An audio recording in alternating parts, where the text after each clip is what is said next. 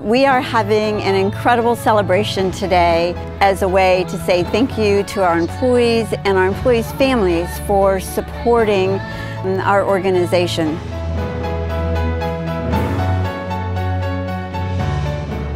We're very proud of this uh, hospital. We've had a capital campaign for the community and part of that campaign was done by our employees.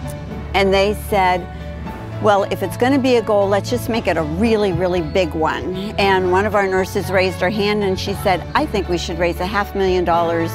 We set a goal of raising $500,000. I just couldn't imagine because there's only 200 of us. $500,000 for 200 employees is, is a lot of money, so something to really be proud of. They took the lead. This was not an administrative driven project. When we first took on the hospital project, um, we came up with the slogan of ensuring the past and honoring the future.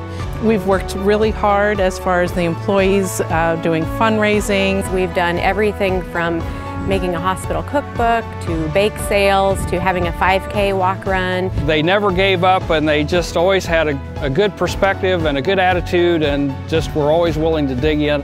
And many of us as employees dug into our own paychecks and made pledges and contributed out of every paycheck. Just hard work um, that is just indicative of what they do every day. The results have been the hospital that you see behind me. We have a beautiful new state-of-the-art facility. And what this hospital means to our community, we are a rural community that needs rural health care.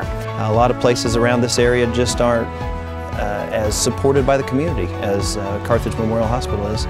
It's essential that we have rural health care in this area. Makes me smile to know that it's going to be here for me and future generations of my family and I couldn't be any prouder to be associated with any other group than all of you. So thank you so much.